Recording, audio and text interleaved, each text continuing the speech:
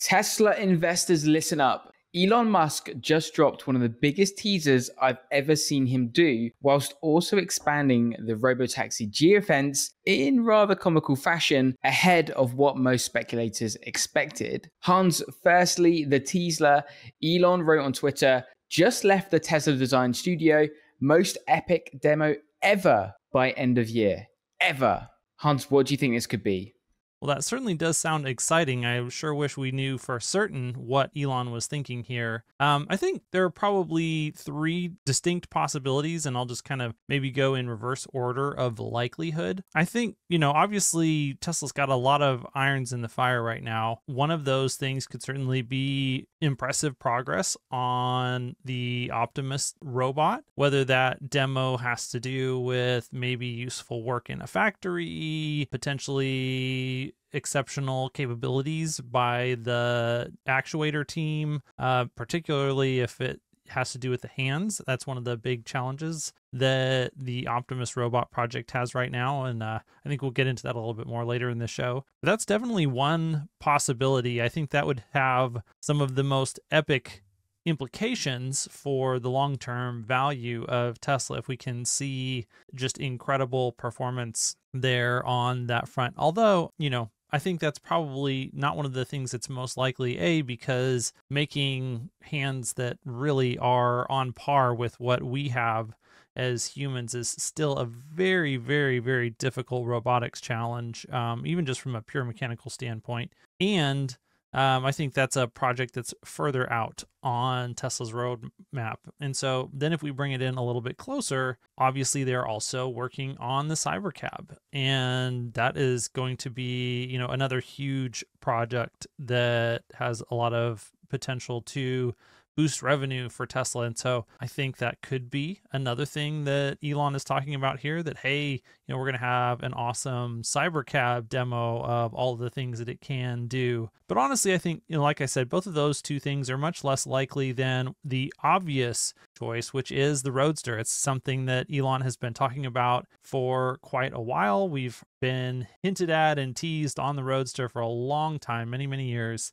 And it is going to be an exciting product when it comes to its speed and then whatever they've done with this SpaceX package to potentially make it levitate and, you know, a, a lot of different things. That would be. I think the thing that most people are expecting this demo to be, uh, that's probably going to be consensus among some of the very, you know, uh, staunch Tesla nerds. And it is one of the things that i mean it is definitely time like either we need to release the roadster or give everyone back their money and just move on and say okay you know what? Never mind. This was a waste of time. But i think as a halo product it really is something that's worth doing at some point in the near future and um, i think right now might be a good time for that product in the overall product cycle and um, so that's what I'm hoping for. I th- that's what I think is the most likely here for what Elon is talking about. I mean, just imagine like a car that can shatter even the performance of the Plaid, which has been surpassed, you know, by a couple of other cars recently in terms of its top speed, its acceleration, um, some of those things that Tesla has an opportunity here to just reclaim the leaderboard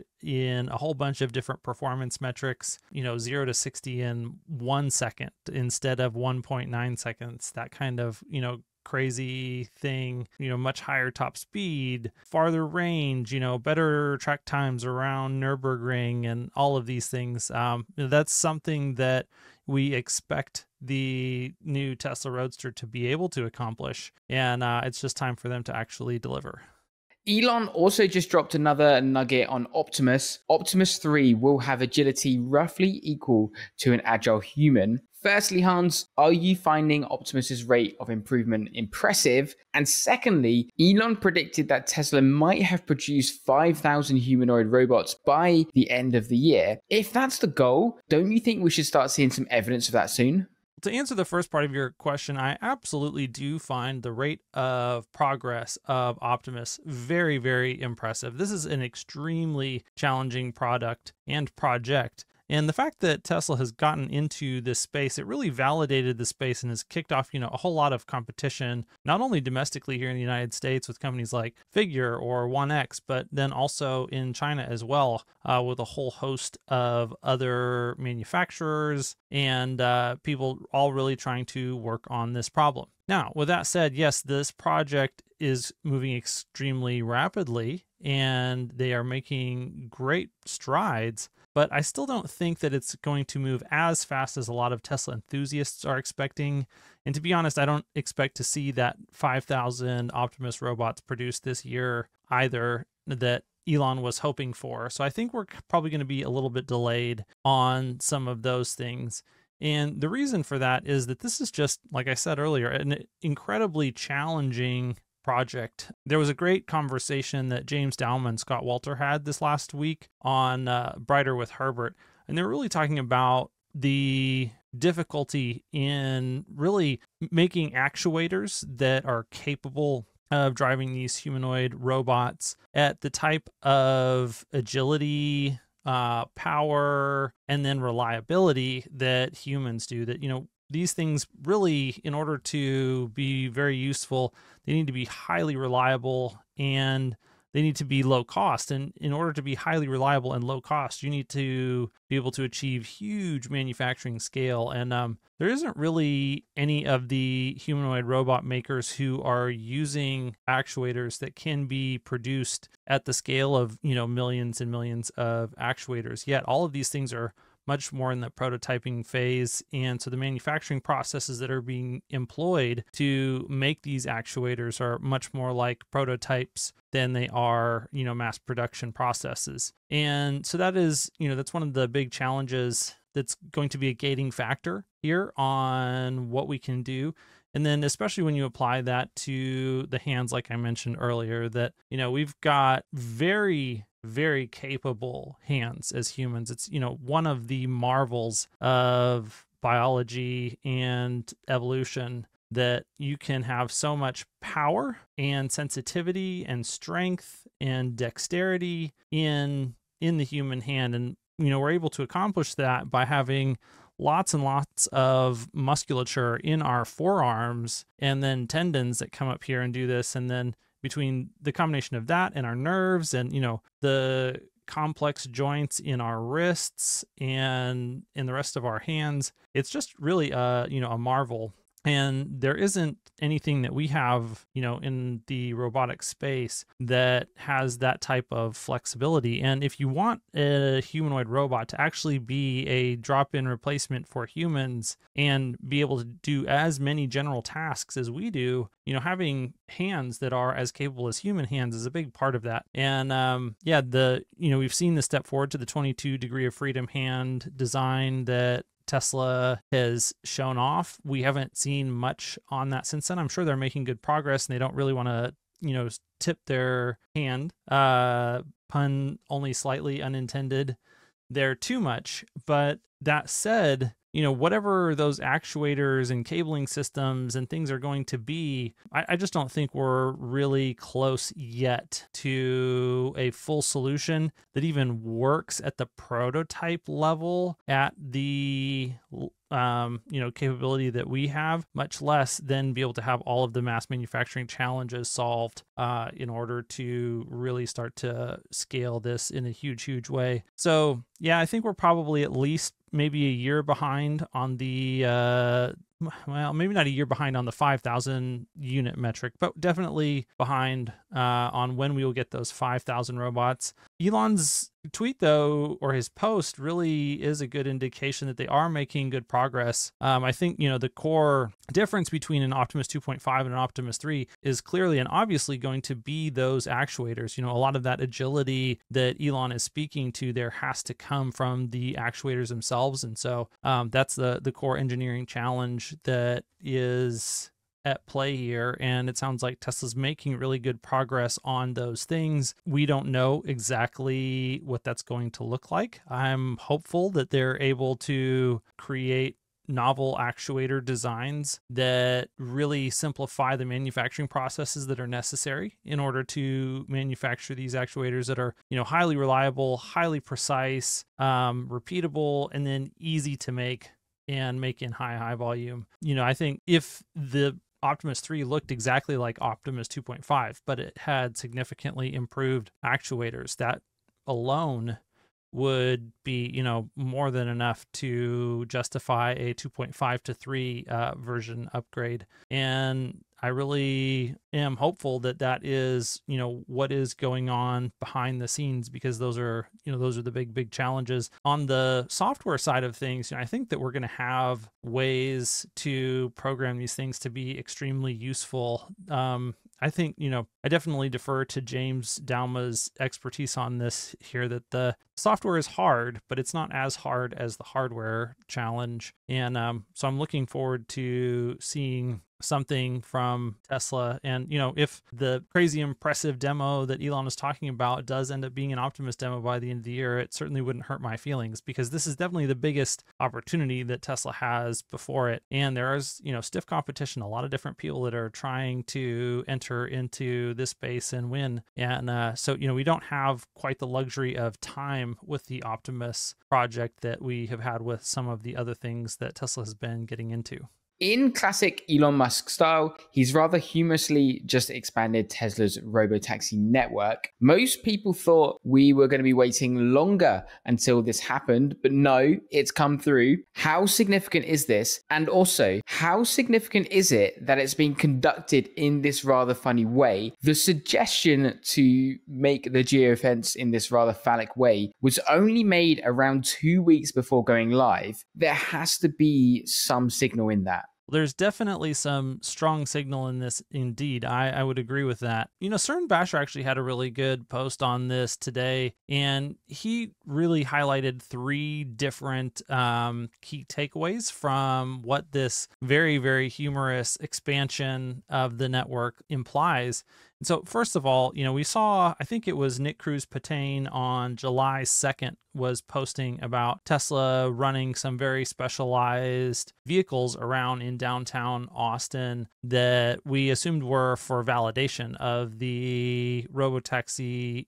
uh, network. And it looks to be that that was in fact true and so you know, it's only been about two weeks since we saw Tesla doing these validation drives in the area that they were looking to expand into. And now the service is live in that area. And we've already seen those same vehicles driving down as far south as Kyle, Texas, which I think is basically as far south as the uh, the northern end of the expansion area under the new geofence, this geofence probably won't continue to look as humorous as it does for very much longer because we're probably going to get new area. Um, and then we've also seen vehicles not just here in Texas, but also operating in California and in some other areas. And so would say the the first and most important takeaway from this is that they are willing to expand the coverage area of the robotaxi very, very rapidly. Now we haven't seen them take away safety drivers. We haven't seen them significantly expand the fleet as of yet.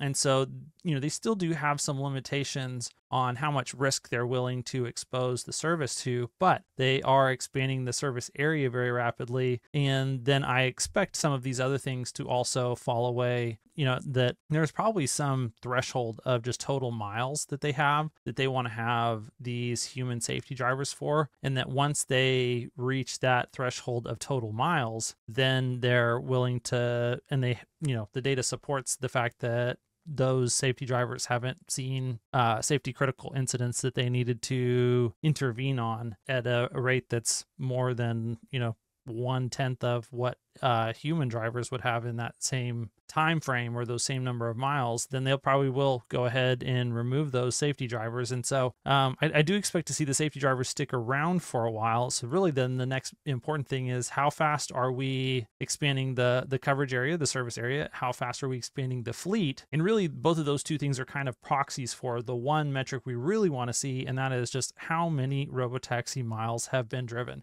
Uh, that's going to be the core metric that really everything else is based off of. That will be a direct correlation to you know, safety data implications. That'll be a direct correlation to how fast is the overall service expanding. And it'll give us quite a bit of insight into where the robotaxi service is headed over time as it tries to eat into you know the total miles that are driven by humans for you know general passenger transport here in the united states um, because that is the first big market that Tesla Robotaxi is attacking. One of the other things that this really highlights, you know, because they were able to just make the shape this very, uh, very entertaining shape in just a short period of time after Stephen Mark Ryan suggested that, you know, that shows that they don't have the types of limitations that Waymo has in having to have these super highly developed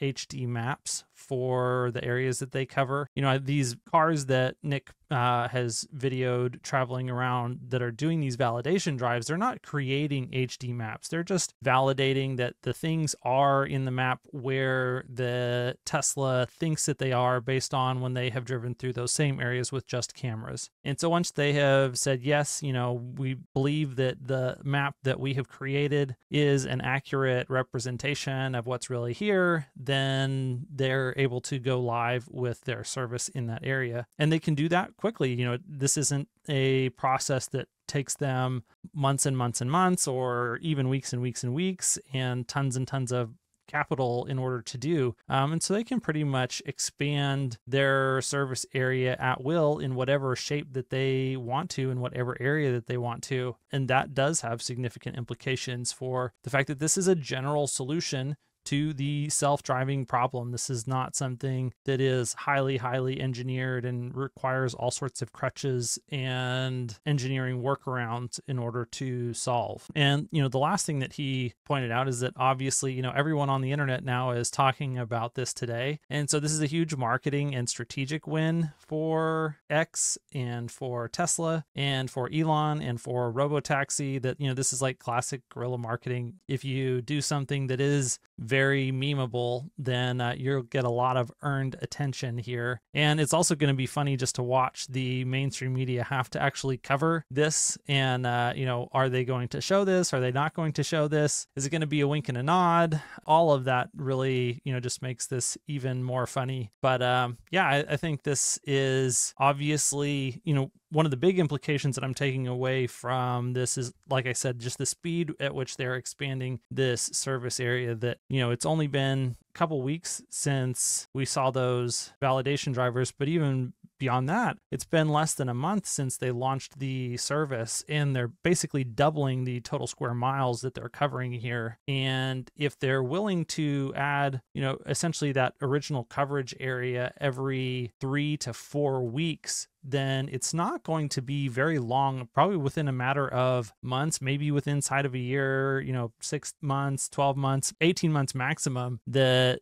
Tesla's service area will actually encompass more total square miles than Waymo encompasses today. And, um, you know, they'll be growing so fast and able to then supply not only you know the the coverage area but the cars to to cover all those areas to where they can completely eviscerate Waymo and the number of paid miles that Waymo operates on a daily basis. Um, Tesla has the opportunity to surpass that within the next 18 months and do that at a rate where they'll be growing far faster than anything that Waymo can grow. And, uh, you know, that divergence will be something that is plain and obvious for anyone and everyone to see. And, you know, once they eclipse Waymo, then it'll be a comparison to Uber. And, uh, you know, we'll be watching Uber and Lyft steadily decline as well. And uh, that's what we're looking forward to. I think that all starts to become extremely, extremely obvious here in the coming year to 18 months yeah, it's going to be a blast. I'm looking forward to continuing to observe and cover this area. It's going to be an insane time for investors.